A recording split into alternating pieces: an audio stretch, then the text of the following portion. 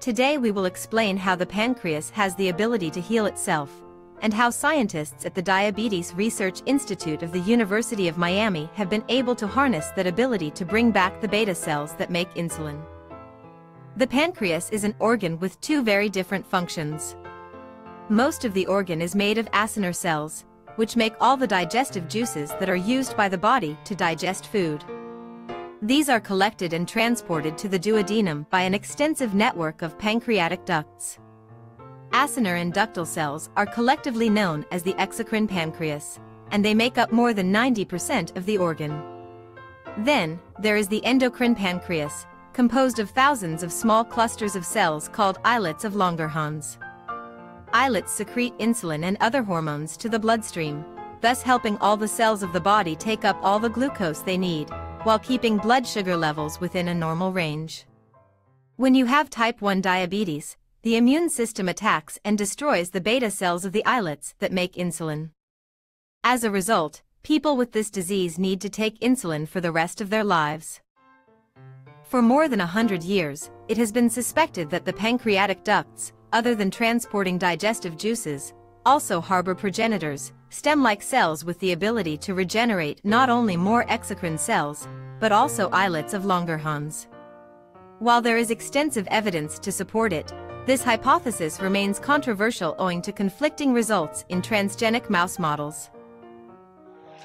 The mouse model has been incredibly useful to the field, but we've been able to cure diabetes in hundreds of different ways in mice, and none of them has worked in humans. So we thought it was important to establish if these progenitor cells can regenerate the pancreas in a true human-based model.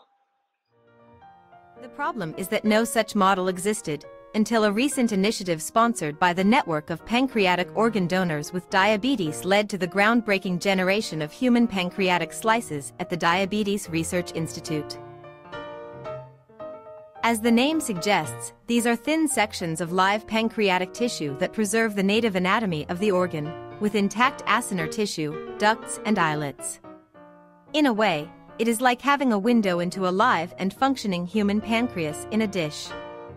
Unfortunately, these slices were good for just a couple of days, losing viability and function rapidly as they degraded and disintegrated. The DRI team found that one key factor driving this degradation was the lack of sufficient oxygenation. They were able to overcome this using a novel culture device that provides oxygen to the slices through a membrane made of perfluorocarbon, or PFC, a compound with an extremely high affinity for oxygen. PFC dishes extended the life of human pancreatic slices beyond two weeks, presenting the field with the very first human-based model of the pancreas, one where we could at last study pancreatic regeneration. The teams of doctors Juan Dominguez Bendala and Ricardo Pastori had previously identified progenitor cells in the pancreas of human donors, including those with type 1 diabetes. One key feature of these cells is that they responded to a growth factor called BMP7, which stands for bone morphogenetic protein 7. The BMP family of factors acts as fuel for stem cells across the body, and the pancreas, as they discovered, is no exception. The ability to culture human pancreatic slices for 10 days gave them the idea of treating slices from the same donor with or without BMP7, and examining their composition at the single-cell level at different time points. They did this using a technique called single-cell RNA sequencing. This approach consists in the analysis of most of the thousands of genes that are being expressed in every single cell of any given tissue, in this case the pancreas. Once the cells are dissociated and sequenced, a powerful algorithm allows you to visualize all the families of cells grouped by kinship. For example, this is the map of a pancreatic slice from a non-diabetic donor, where cells are organized in continents and countries, if you will. We like the analogy of countries and continents so much that we adapted bioinformatics tools to make them look like a cartographical maps. The continents to the left is home to all the acinar countries, whereas the one to the right harbors all the nations that call themselves ductal, including the one where progenitor cells live. There are smaller islands that represent the islets of Langerhans, blood vessels, and immune cells. However, for all its value, this was nothing more than a static map of the pancreas. But what happens in pancreatic slices from the same donor when you expose them to BMP7? What the DRI investigators saw was nothing short of striking. Where you had before two distinct continents, there was now a bridge that brought together the two major domains. A literal bridge that connected the ductal and the acinar domains. Further investigation into the nature of that bridge revealed that it was made of ductal progenitor cells, which were being mobilized by BMP7 and adopting hybrid ductoacinar characteristics. The beauty of this approach is that you can integrate the datasets of treated and untreated slices at multiple time points, and thus create a motion picture at the single cell level of all the molecular events that are being triggered by BMP7.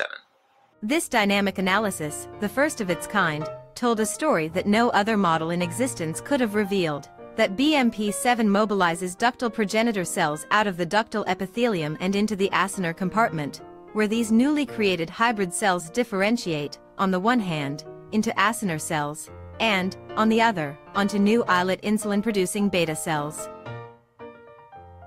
Going back to the bridge analogy, BMP7 would both create a bridge and then transport the building materials for new islets across the ocean.